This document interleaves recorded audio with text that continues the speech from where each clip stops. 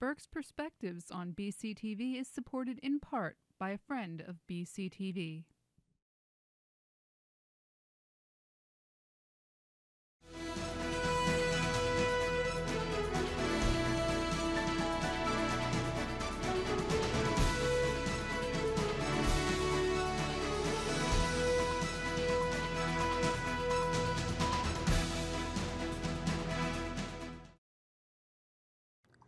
Hello and welcome to Berks Perspectives. I'm Fred Levering um, and joined by, as usual, um, our crew, some of which are utterly surprised that I said it was time to start. Uh, we, have, we have Martha Richardson. Hi, hi everybody. John Forester. Hello. We have Ruth Martelli. Hi. And Fred Opalinski. So we've got. Hi, our, good to be with you. We've got our entire contingent ready to go here. There's always a lot to talk about. Unfortunately, we got to start with something local that was tragic. Um, there was a uh, shooting at the Brookline Playground, which is just off of Kenhorst Boulevard uh, in the city, but right next door to, to Kenhorst. And um, uh, I mean, high school kids. Um, a, young man from uh, Governor Mifflin School was killed by the gunfire. There were a couple of other kids that were wounded, one of which was a, a young lady.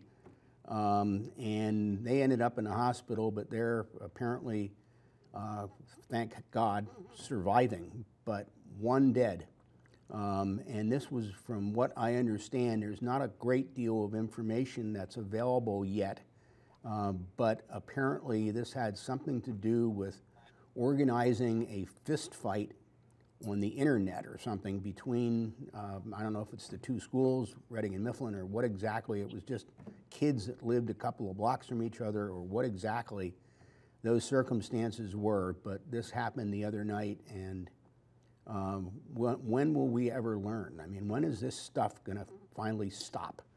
So Just I'm, the other night, I watched uh, the Spielberg version of West Side Story. And if you all recall, yeah, I mean, sort of the, the high point or the low point is when the two gangs decide to get together to fight. And that's the way, just the way it was described in this. Mm-hmm. They got together on the playground to fight. And I'm thinking, oh my golly, just how tr- tragic indeed. And coincidentally, like West Side Story, um, it got it led to gunfire. Um, yeah. And, and this morning's this morning's paper had an article about a, a fight that broke out at the high school with Reading High. Reading High School, and also um, a rape or sexual assault just a block from our home at eight o'clock in the morning uh, on Hill Road. Uh, it, uh, and there were a couple of shootings last week, right, in Reading? I think Well, I was going to say, North Ninth Street, was it, or? yeah, this isn't the first teenager that's been shot in Reading in the last year, is it? It just, it's just seemed to hit the first page more than the others, but we see shootings now on the fourth and fifth page of the paper when there is a fourth and fifth page. Mm. Um, it's just it's just dis- disgusting. It must have been a large group of kids that lived that that gathered, and surely there were people living nearby that saw that group of kids gathering that could have called in advance and headed and tipped them off. We live right behind a park, right behind a park, and there have been there's been very little problem living there, but there have been a few times when we called the police because there were groups of kids that gathered there after dark and is a, you're not supposed to be in the park after dark. But this idea of if you see something, say something. Don't wait for it to develop into something bigger. Um, surely there are homes all around that playground where people must have been aware of of people gather, of kids gathering. What would be the panel's impression here? Is this stuff made worse by the internet and the communications that, that come as a result of that. Um, you know, thinking back 100 years ago when I was in high school, um, there was a not very much interaction between high schools, not much at all, other than sports. Um, and um, now they're somehow insulting each other over the internet or something and leading to, to uh, confrontation. Um, is, is that a, just a, a, a wrong assumption or is there anything to that stuff? And does it mean When I was, anything? when, I mean, when I went to Mule, when I was at Muhlenberg, um, one of our, there was very little interaction with Reading. And those were definitely the, the big kids, the tough kids, as far as we were concerned. One of our, um, one of the girls from Muhlenberg started dating, uh, a boy from Reading and then broke up with him and started dating the football captain at the, at the, at Muhlenberg the guy from Reading got his gang together and we all knew they were coming out to look for the football captain. That day after school, nobody left the building. We just all stayed in. I mean, I don't think teachers said anything about it, but it was, um, it was quite a, a thing to have the whole gang from Reading come out to Muhlenberg. My granddaughter goes to Governor Mifflin. So I think that happened on Monday evening. And then Tuesday was virtual. Something's wrong with the sound. Yeah, where everybody seems to be echoing. I don't know whether Yeah. the field's Yeah, there's aware a- of that. there's feedback. I hear it too. Yeah, I, I can hear myself. Um, Anyway, So just keep going. It's all right. Joan's on the case, but go ahead. the school district made Tuesday virtual. Wednesday was virtual, today is virtual, and tomorrow is a, an in-service day. So um, the kids have been purposefully uh, kept home. And when my son came over last night to have dinner with us, we talked about exactly what you were uh, postulating, Fred. What is the cause? And does the internet play a part? And yeah, it does. It's, it's like a clarion call. You can reach here, there, and everywhere in a matter of seconds. And how, I, I think the question we need to consider is how do we get our kids to say, I'm not going to participate? Instead of everybody running to that playground. You know, it gets violent, more violent when there's a, an audience. And if we could deprive that oxygen, um, it, it might abate, but That's what troubles me. Um, what would motivate kids to think that the idea of a fight on the playground is a good thing? Or that good will come of it? I mean, uh, do they really think it has to do with claiming territory as it was in um, uh, West Side Story? Or is it about, um, you know, our school's better than yours? Was that the way you show it? I mean, yeah, I, I, it's hard for me to understand. I was always really busy in high school you know, involved in lots and lots of things. I can't imagine that uh, going to a fight at the playground would have been one of the items on my checklist, but it obviously is for some folks. And uh, you know, what's the motivation? I, I, I'm sure you know in the in the old days you had to confront somebody face to face if you were going to make a challenge, or I suppose you could you could make a phone call and say meet me at the park. Uh, but now with the internet thousands of kids can be reached at one time, and that that mass availability of communication is has got to exacerbate this. But it only exacerbates it if you've got the motivation to think that this is somehow worthwhile, and I don't know where that comes from. All right, I'm not going to blame the, the internet here because uh, maybe I ran with a, a, dangerous crowd when I was uh, in high school. Probably. But, but yeah, I did. and uh, I, I recall I recall one where uh, probably the t- the toughest kid in at Reading High uh, arranged a fight for the toughest kid in Mount Penn High School in my day, and everybody showed up. Uh, what's the name of it? Drink Dinklefield, Drinklefield, the the where the airplane up on the mountain Yeah. where they they fly, fly the airplanes. Um, uh, they there was a, a crowd up there. That we didn't have the internet, but uh, it, it, they have their own uh, network of uh, uh, rumors, and and we had there was there was a fight up there. Um, it was, but it was with with two people, and there was a winner, and nobody got stabbed or shot. I I I, I think uh, access to guns is the is the the real villain here. Uh, kids are kids. They get in fights. They've got they've got they've got the uh, the hormones running, and uh, they uh, the, this is this is nothing new.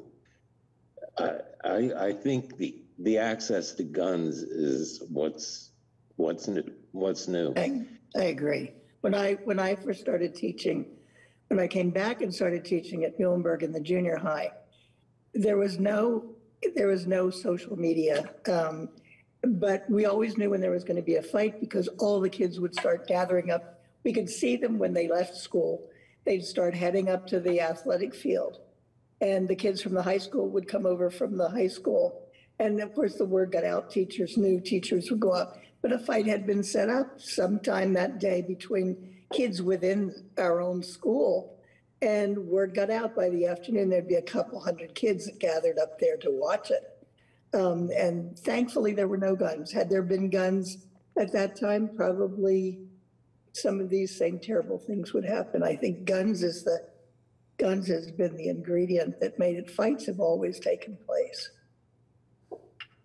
We used to know there was going to be a fight among the girls. They were terrible. They were the worst. Because girls have no, they are awful.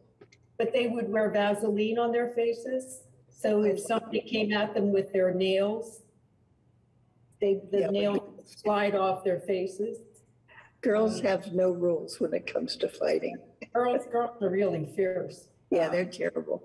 And when the Citadel opened, when the Citadel opened uh, in the old St. Joe's uh, building um, as, as a middle school, junior, middle school, uh, there were fights almost every day in City Park. That was So not, this is, this is, this is nothing new. This is, ninth grade was there, I think, because ninth Yeah. grade, right. when Reading High was nine to 12, most, most of the disciplinary problems were among the ninth graders. Um, And so the ninth grade was moved out of Reading High into the Citadel, and you're right, that's, so City Park became the arena. So what the ninth, is the, was the ninth grade thing a matter of kids now out of elementary and, and looking to, you know, make their mark or something of how tough they were? It's where they brought grade them. is, I was gonna say, ninth grade is, is the, is the year I most love teaching because they are neither fish nor fowl. They are in a state of total confusion. Half the world is telling them they're too young to do something. The other half of the world is telling them they're too old to behave the way they're doing. Or they'll say very quickly, grow up, if you, you know, if we could say that. And they'd instantly grow up, it would be wonderful. But ninth grade, I think, is, is just, you know, it was a lot more fun teaching them than parenting them. I can say that from both sides. In the case of the Citadels, they were bringing in uh, kids from the four feeder schools, the, the, the four middle schools. And um, that's when they, uh, that's, that's when there were, there were troubles acclimating to each other. one of the things I used to wonder about as a parent, uh, my kids went to Northeast. We were the Panthers, don't you know? Um, to have The rivalry among the four quadrants, Right. I thought was kind of problematic because ultimately they're all going to wind up in one place. And I think one, maybe the first year Mark was there, some of the teachers had a day when every club known to man at Reading High was on a field and they took the ninth graders and allowed them to allowed them to look at other things to do. Did you lose my sound? No, No, Okay.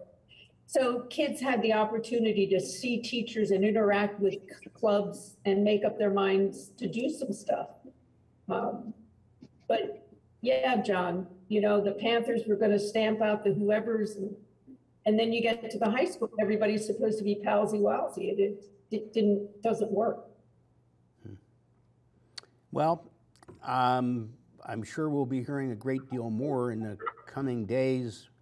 Um, eventually, we're going to get some sort of a take on what stirred the pot. I don't know. Um, but in any Well, event, I think. Tragic that a life was lost. I mean, that's Oh, yeah. just, you think about, oh, I can't imagine what it's like for the family, for the friends, all the rest. I did like what the mayor said, though. I believe it was the mayor who said, we can't do this alone. It can't just be the police. It can't just be the state police. And this must have happened very close to the state police barracks. Um, It can't just be the city government. It has to be everybody's job. If you see something, say something. Don't wait for it to get bigger. If you, if you have a bad feeling about something you're watching, make a note, do, you know, use your cell phone and call somebody, call 911. I think too, there's a dearth of places and things for kids to do after school. Um, If, if there were more engagement, you know, if kids could go somewhere and do something pr- productive, like kids, some kids go to the Olivets. Some kids go to the library, some pla- kids have places to go, but there are. Well, the lot of- Olivets, the Olivets is two blocks from there. Yeah. Right. Well, But it- I'm they- saying that a lot of kids don't have those outlets. We, we um, you know, referenced earlier uh, the, I guess, parallels, anything you can call it, to West Side Story. And in West Side Story, things escalated to a uh, to gunfire, and somebody died. Um, uh, that seemed in the movie, and I, I'm not stupid. I realize it was a movie, but um, it seemed to me that it gave the participants pause of saying, "Holy smokes, what we just let happen here?" So uh, my hope is that something similar happens here. That people just say, "Hold the phone here. This has gotten too far," uh, but that remains to be seen.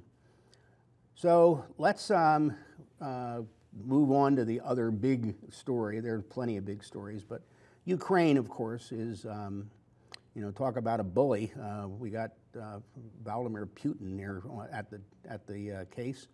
And um, that, I think, is safe to say, has not gone quite the way he expected. He thought this was going to be a slam dunk, roll over him kind of thing, and it's been anything but.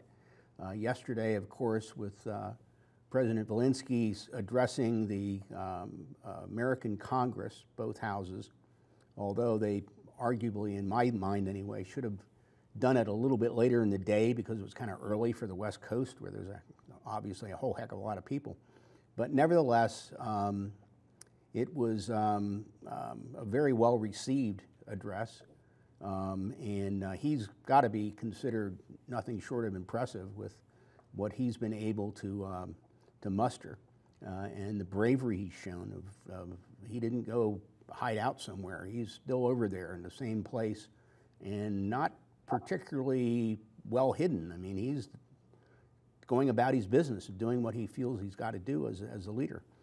So that was an interesting take. He also addressed, uh, I guess, the Canadian Parliament um, earlier, um, and uh, there's been parallels made to uh, Winston Churchill uh, on the eve of World War II of going about, um, and that was, you know, thank heavens, before the internet. That was back when he had actually traveled places and so on, and um, did a, a, lot to galvanize uh, the, the rest of the world against Nazi Germany. Um, so, Well, actually, actually, on the eve of the war, uh, the prime minister was Neville Chamberlain, who uh, gave the uh, the Germans a, a kind of a green light to go ahead and, and invade the Sudetenland. yeah, that's So- true. That's very true. But it was, but his, but Churchill, Churchill was still ahead of America's entry, wasn't it? I believe. Yes.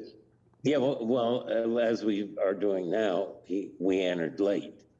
We did the lend lease uh, agreement and uh, deal, but we we were kind of neutral and uh, hesitant to enter the war until we were attacked by Japan, 42.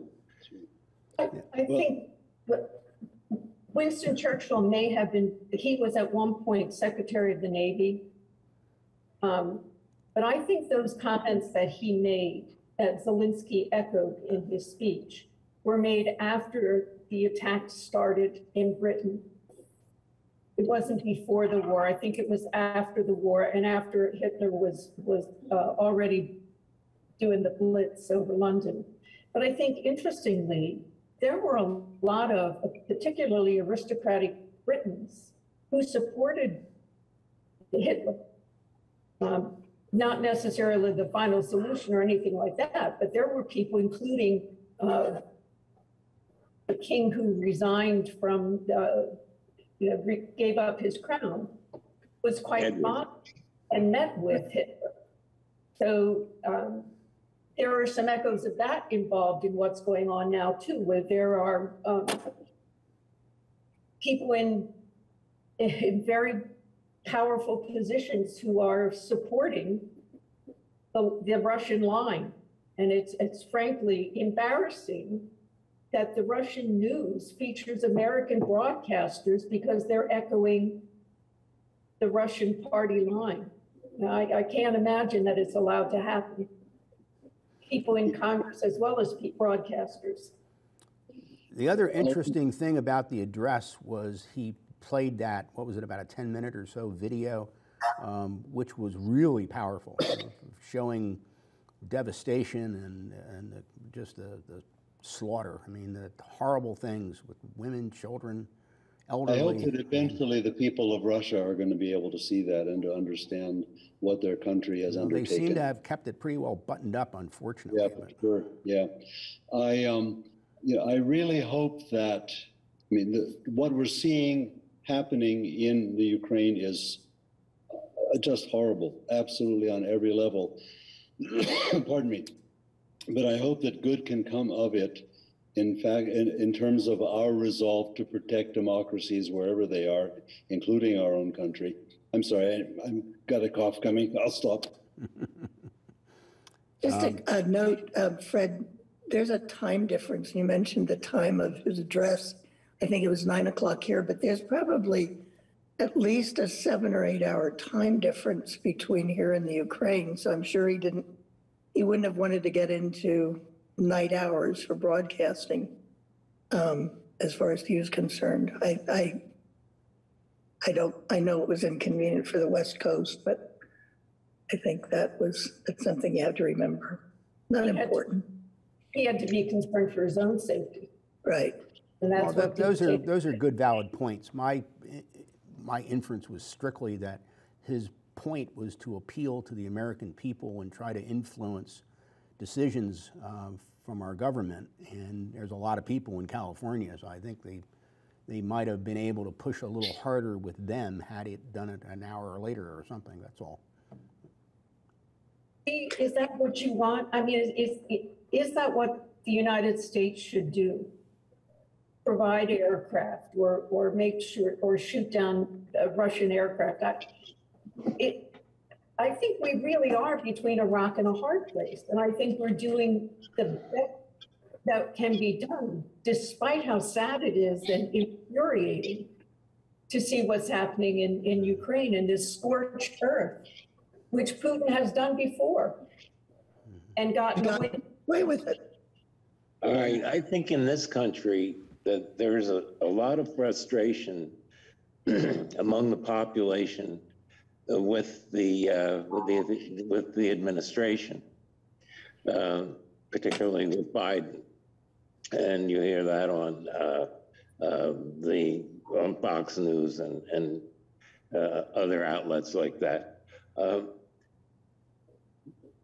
We we tend we tend to take take this viscerally and and internalize it and and get angry and and say let's go give them hell where Uh, I, I believe the plan is, and I'm not privy to any information inside the White House, but uh, I believe the plan, the plan is to uh, turn the Russian people against Putin, to, to uh, be rid of him once and for all without starting World War III. I think Putin wants World War III.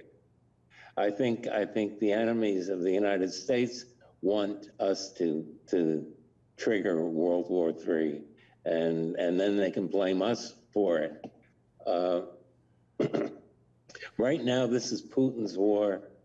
Uh, he is he is a pariah in throughout the world, probably with the exception of China, and uh, I, I I think that there is a there is a strategy here to uh, of attrition to to uh, starve starve off the uh, Russian economy and to uh, galvanize the Russian population against Putin. I, I I think love that you you love to see can. I think you can hon- very honestly say that, that, um, that's correct. Um, the, the, um, the, idea of America either flying those jets over to Ukraine from the base in Germany or whatever is going to be viewed as a major escalation. And uh, the establishing a no-fly zone is simply inappropriate. Now, I have nothing but sympathy for the Ukrainian people, and I'm really supportive of the president. Uh, but um, America's got to balance that and stay away from that sort of engagement. We seem to so far be dodging uh, that we're able to tread the, the fine line to knowingly be supplying a lot of armament um, and not escalating the thing beyond what can be controlled, whereas the airplanes, uh, the jets, are going to take it over the edge, and I think would be a big mistake. Yeah, I, I agree. And it's clear that the Ukrainians know how to use what we're giving them, really with, with, with great skill. And, and I say, give them as much as we possibly can so they can continue, continue their good work. And, uh, and I hope And they're that, fighting valiantly. oh my golly, it's They are. extraordinary. I hope we can, I hope we are prepared also to continue helping them when this is over and their country is decimated. I mean, their country is being destroyed. It will take them decades to get back to where they were, and they're going to need all the help they can get, and that's got to come from, from us and from other countries. So And- many of those photos reminded me of pictures from World War II. you Exactly. know, after the Blitzkrieg or after the, the major bombings and, and, and it did take decades for many of those places to come back to life. But There we have to they- be very they- careful. We have to be very careful about how we poke the bear. Uh, to mix, mix a metaphor, we we can't back Putin into a corner because he's going to be a trapped rat, and he will. uh, God knows what he'll do. This man is obviously unbalanced, and And uh, without any, he without any value for life at all. and very desperate. There is you- a, Go ahead, go ahead, Ruth. you know, there is a military reporter who, who's written to say that he believes that um, it's very possible that Russia will lose this thing. And that they, because so many of the, uh, the, the people fighting for Russia are conscripts. They had no idea where they were going. They were told they packed, instead of packing rations, they took with them their dress uniforms because they were led to believe that the Ukrainians would bow down before them, thank them for coming to save them, and there would be a victory parade through Kiev with all of them dressed in their in their dress uniforms. It, they've been woefully prepared. Their uh, their lines, supply lines, are questionable. And evidently, soldiers were calling home after it first started, crying to their parents, saying, "We don't know why we're here. We don't." They were supposed to welcome us, and he, they think that something like seven thousand Russian troops have been killed. Those are not the numbers that that Putin led people to believe would would happen to his his troops. I heard about uh, interviews with three um, pilots. I think they were helicopter pilots who were captured by the Ukrainians, Russian helicopter pilots, who said that they were told, you know, they were coming in to protect the Russian speakers, you know, and nobody anticipated this kind of an onslaught. And um, so, I mean, clearly they they were duped, and uh, many of them are regretting it. Still, the brutality continues. Evidently, that's what Putin thought was going to happen because he's in such a, a bubble of his own. He believed that it would be, uh, he, his army would liberate and be welcomed as liberators because he completely misread what was happening in Ukraine. But when you isolate yourself, what's, what's true? I find that even in this, and it's horrible, and I, it, it takes, it's in my thoughts all day, I think, but there is the humor that I love. I don't know very much about the Ukraine, about Ukraine, and I, I only know a few Ukrainians. Um, but I love the, the Ukrainian soldiers um, who were caught on the island uh, Speak up. with the, the, and what they said, which I can't, which I can't quote, but um, I also love the, the mayor of the, t- of the town down in South where he said, we're just, we're here. And he said, um, hello, stupid Russian boys. I just love that. I just, I mean, I just love their courage that they're showing. I love the story of the grandmother who was out on the balcony of her apartment smoking, and she saw this drone coming, and she threw a jar of pickled beets, I think, Right. at the drone, hit it, it fell to the And ground. She went down and stomped it with her feet. I Really? Wow. I hadn't heard that one. Yeah. Um, well, let me let me ask you this: um, This is not going as well as Putin thought. We agree.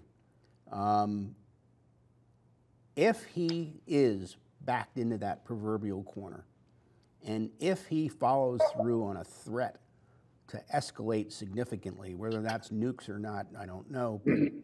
Will the Russian generals obey him, or will they push back? What do you That's think? a really good question, Fred. He's already started what he calls cleansing uh, his government of dissenters. Yeah. So, Got a uh, number of generals in prison, yeah.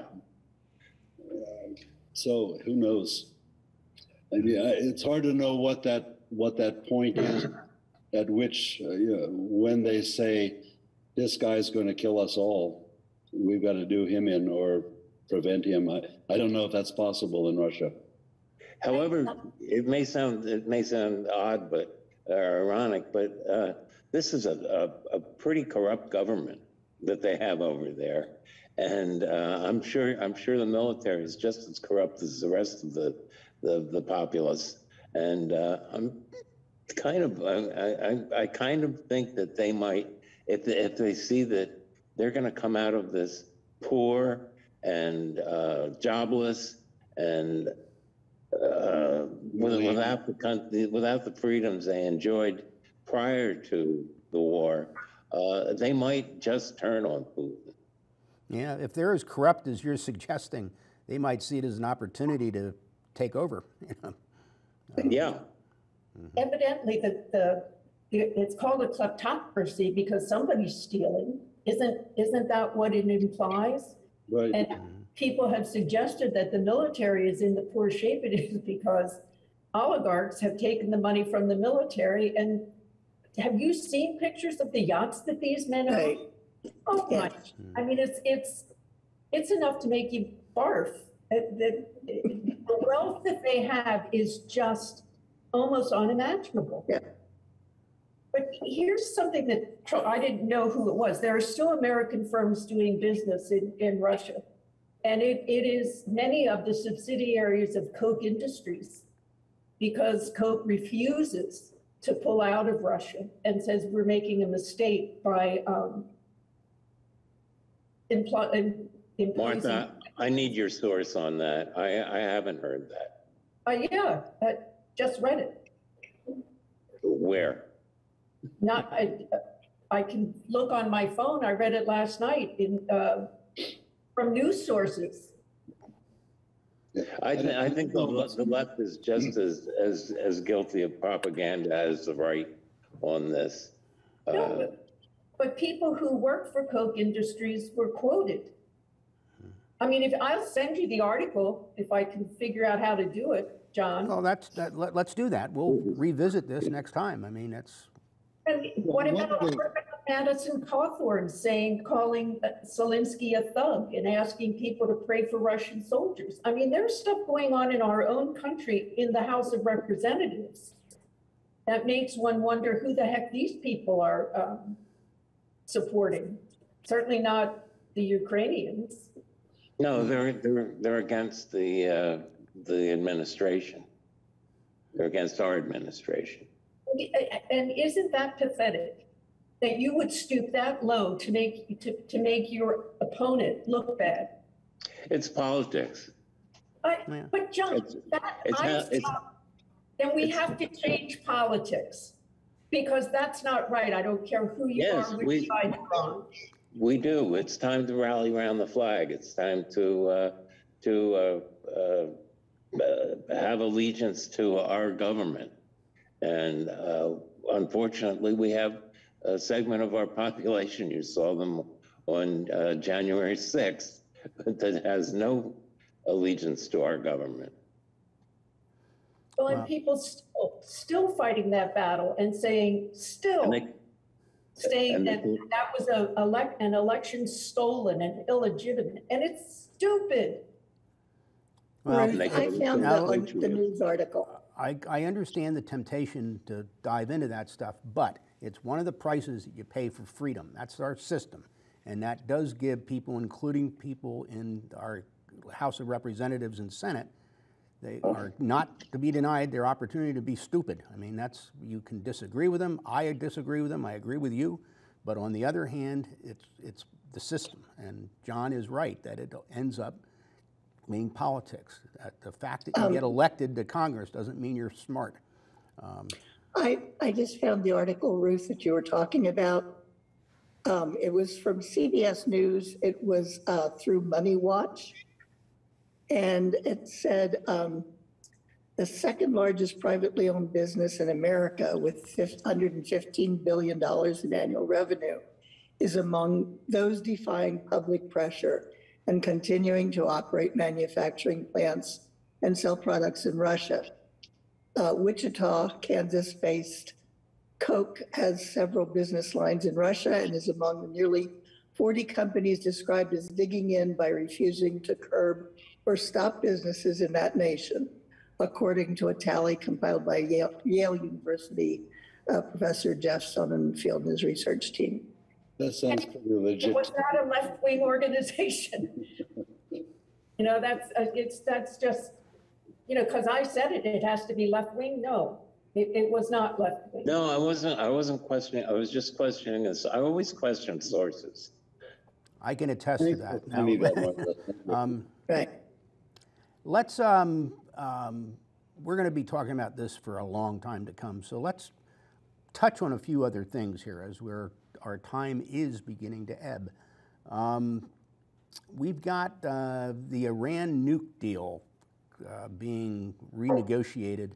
Um, the last thing that I read um, is that uh, a nose count in the U.S. Senate, which must approve such, or supposed to approve such a treaty, um, indicated that um, there weren't any Republican senators that appeared to be supportive, and it's not likely to become a vice presidential tiebreaker because this person speculated very emphatically that Senator Manchin was no way on earth going to support it. Any thoughts, panel? I think it's worth, again, what John was talking about, where it's, people are opposed to things just because they're opposed to the administration. I mean, how, how did people react when we pulled out? I mean, there was consternation all over the place when, when the United States left. You agree, the nuclear. Well, th- that didn't, that didn't end the agreement, though. That just ended our, our participation in it. Uh, The, it, it sunsetted and uh, it has, has to be renewed or or renegotiated. And um, I, I, I, I believe that there's, there's reason, reasonable people can question the Iranian, uh, uh, the Iranians' uh, beholdenness to it because uh, they, they've been bad actors, re- even recently. Well, Didn't they just bomb uh, Iraq.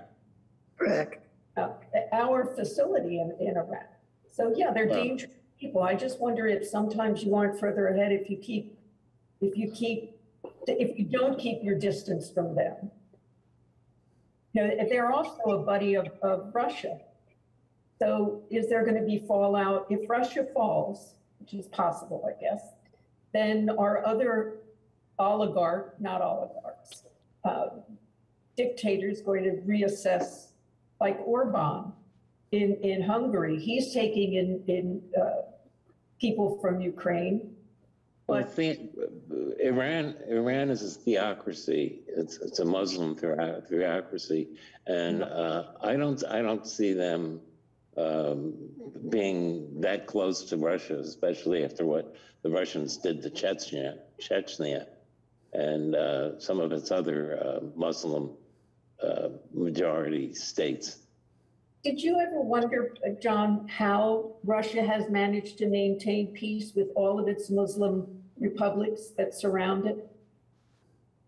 Turkmenistan and, and Kazakhstan and all the stands? Because are, are they not Muslim majority countries?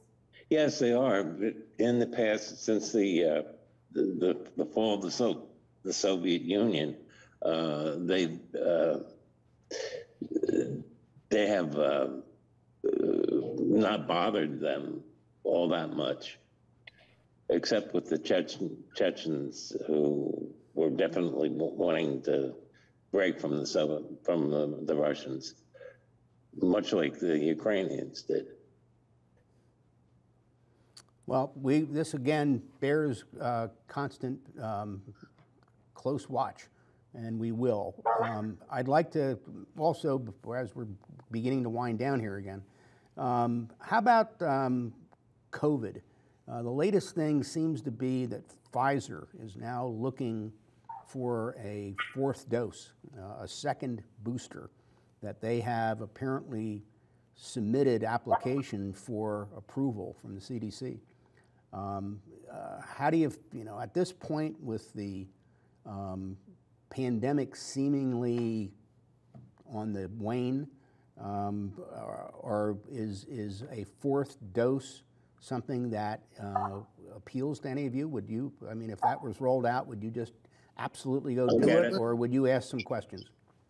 No, Okay. I would- yeah, me too. There's a, there's a new variant out now, the, the, the Omicron Delta, or Delta Omicron, uh, which is, you know, we don't, we know very little about. Uh, we, we- we're gonna have, people are gonna have to stop acting like this is over. It's not over. I go, I go out, go to the store, people aren't wearing masks. People are, are congregating in, in concerts and, and things like that. Um, this is not over at all. At all. We're, we're I, I think we've passed the one million deaths in, in the country. You know, as many people in the world have died from uh, COVID as people who were lost in the Holocaust, which is pause for thought. Six million people worldwide are dead from an infectious disease that many of them could have saved their lives had they been vaccinated.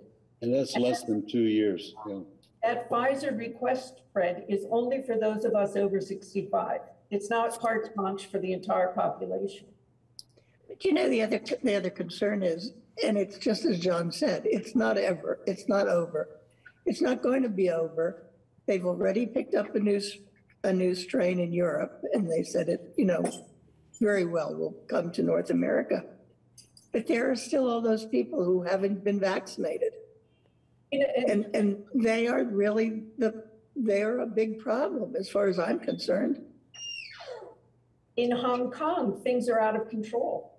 right? The rate in Hong Kong is unbelievable, it's like 5%. And what they're finding is that the people who are dying are the people who haven't taken the pre- precautions that they should have taken. And the, the death rate is astonishing. And lots of people are ill. And you know that if it, if it happens in one, we aren't globalized for no reason at all. If it happens one place, it's going to wind up having, appearing everywhere. It's a question of when. Well, it's not only the disease, uh, the Chinese have uh, pretty well closed down uh, their country and uh, Shanghai especially, and it's a major shipping point. So we're, we're going to be experiencing, think of all the things in, in your house that are made in China. And uh, we're going to be, we're going to be uh, experiencing shortages of, of goods throughout the, the world. Well, and the war in Ukraine is making the, the uh, access to grain extremely difficult. So there are going to be those cost increases as well. Because all that destruction on the part of the Russians is taking out any kind of agriculture. And do you remember seeing the, the picture of the pregnant mom being taken out of the maternity hospital? Both she and her baby died in the aftermath of that even, I mean, part of, part of the problem that, Amer- uh, that Americans have, and it's certainly not anybody on this, this panel, I don't mean to suggest that, is that we don't understand geography. I, I'm not sure that people even realize where Ukraine is on a world map. And sometimes we make mistakes because we aren't totally connected with what's going on in the rest of the world. And, and that can be tragic. Uh, let me point out two things, Ruth. One, you make an excellent point about our knowledge of certain parts of the world. I mean, I think people are pretty familiar with Europe and stuff, but when you get into uh, the, uh, the former Soviet nations and a lot of the nations in Africa and so on, there's a lot of people that really don't know much. Um, I was had recommended to me a website which I find to be extremely even-handed and not at all um, political uh, in any way that, that I've seen anyway. I've been reading it now for a couple of months. Uh, it's called the dailychatter.com and it covers international news and is they publish a newsletter every morning right about six o'clock or a couple minutes after six um, it's, it does have a paywall, but it's very inexpensive. It's, you can get it, you, if you sign up, you got to give them a credit card kind of thing and so on, and you'll get the first month for free. And then if you elect continue, it's like $28 a year. Uh, and they've already announced that it's going to not go up in price in the coming year. So it's not expensive, and it, I know more about some of those locations. They, they, they do it cleverly. I mean, they, they are going to have a story about, you know, whatever, India, and they'll show a map of India and pointing out where New Delhi is or something like that. And then they talk about whatever that issue is. So they associate it with a map that you can generally recognize very easily. Um, and locating some of those uh, countries are, um, you know, I wouldn't have a clue where some of those African nations or, or whatever have been. So you might look at that. It's, uh, I, I, I recommend it, but, and you can look at it for free for a little bit. Um, So, the- also the BBC World News Service is free and uh, uh, pretty globally comprehensive. Mhm, Good. Well, that's something that uh, I think many of us in America could spend a little more time on is, is knowing a little bit more of our place in the world. Um, but I saw, I saw a map the other day that showed uh, the Ukraine superimposed over northeastern United States. And that was interesting to see. I mean, I knew that it was around the size of Texas, but it goes from Chicago to Boston and from Toronto down to, um, I think, North Carolina, maybe. You know, I mean, a big chunk of the Northeast. That's a very, very large country. Yep, good. You guys see the, the picture of the, the newsreader in Moscow with the person who walked behind her with a sign that said, no war. But she, And over I- a hundred million people saw it. I mean, that's, Right. you know, there's, there's not a whole lot of TV in, in, in Russia.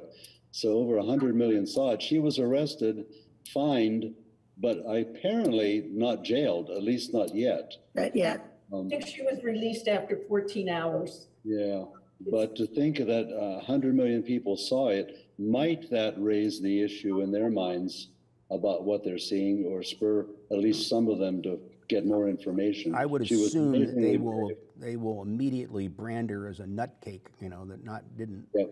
know anything, but um, that, that was interesting, you're right. Um, Well, if, if you're in Russia and can't get McDonald's and can't get Coke, can revolution be far behind?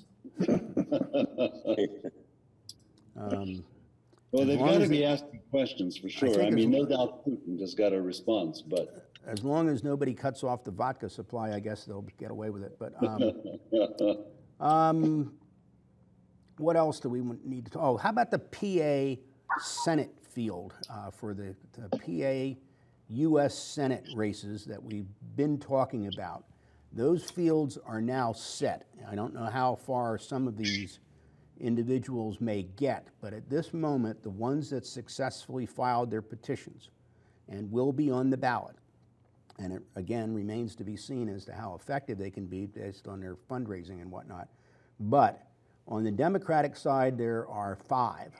Uh, Kevin Baumlin, who I don't know anything about, uh, John Fetterman, the uh, lieutenant governor, uh, Malcolm Kenyatta, a state senator, second term, I think, state senator from Philadelphia, Connor Lamb, a, who was, I think, a three term U.S. House representative from near Pittsburgh. And of course, House terms are only two years, so he hasn't been there all that long. Um, and uh, Alex Khalil, K H A L I L, is the other one, and I don't really know much about him. But those are the official uh, on the ballot uh, Democratic candidates. On the Republican side, there are two, four, six, seven. We have Kathy Barnette, um, who um, is a, um, uh, very conservative individual. Uh, Jeff Bartos, our local guy from uh, Cumru Township, uh, now lives in Montgomery, who um, has run in the past, or I guess he ran for lieutenant governor last time around. Um, so he's been on a statewide ballot. Um, George Bochetto, who I don't can't tell you much about or anything about. Uh, Sean Gale, he's a he might he was from Montgomery County, I think, and may have been a county commissioner at one point or something. Um, uh, David McCormick, who was the uh, hedge fund manager who ostensibly lived in Connecticut, I think. Uh, Dr. Oz, who incidentally I now understand is going to agree to renounce his Turkish um, citizenship should he be successful. And he claims that the reason he hasn't given up his Turkish citizenship is that his elderly mother is a dementia patient in Turkey, and he can apparently do something about her medical condition, even treating her, I guess, as long as he's a citizen. And lastly is Carla Sands. He, she had been an ambassador in the Trump administration. So those are that's the field. So we will. Okay, the, the two moms here both had the same thought. I guess his mother now knows where she stands in his priorities. Don't you think medical care might be better in this country than in, in Istanbul? Just, just But he, asking. he honors his mother, and she doesn't want to leave. I mean, I don't, I have no idea. Right. You know what? Yeah. Maybe instead of talking about the people in each party who we know a lot about, we ought to talk about the people we don't know anything about. Well, there's your list, so um, we'll expect a full report next week, Ruth. I mean, that's, um, that's what we got. Um, And um, we will, of course, be investigating them further, and then we need to start chewing on the governor candidates as well. The Pennsylvania governorship is going to be a big deal um, at this point, very early and all the rest, and now we got the redistricting and so on, so I don't dismiss any of that. But it is probably likely that the Republican Party will stay in control of the legislature, both the House and the Senate. But um, as we have seen in the last eight years, they controlled both houses, and Governor Wolf went his own way. So, I mean, it's a big, big deal um, at this point in time. So, we want to keep a close watch on that stuff. Um, in our last moment or two here, uh, the U.S. Senate has passed legislation to go back or permanently make daylight savings time. Now, since that vote was taken, I've read a couple of things that, frankly, I didn't remember. But in the in the Nixon administration, apparently they stopped daylight savings time for a few years, um, thinking it was going to save energy or whatever that kind of thing. And I didn't remember that happening, to be honest with you. And at this moment, um, what you got to remember is it only lasted a few years, and people apparently didn't particularly like it. The idea of having kids leaving for school in the dark of the night and all that sort of thing. So that is uh, going to has not yet been introduced in the House, but of course will be. And um, can't say I'm shocked by it, but it's about time. City parking meters will not be need to be fed any longer after six o'clock during the week or after two o'clock on a Saturday, and Sundays will remain um, non-metered all day. Um, this is largely because the business owners that are open a little later or on Saturdays or whatever uh, had a great fear of residences uh, using up all the metered parking spots um, from uh, Friday night all the way till Monday morning or something like that. And that's so we'll see how that might go.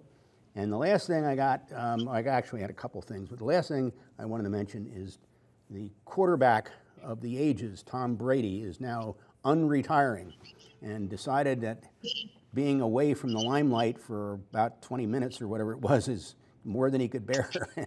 and uh, Brady is back, so we'll see how that pans out.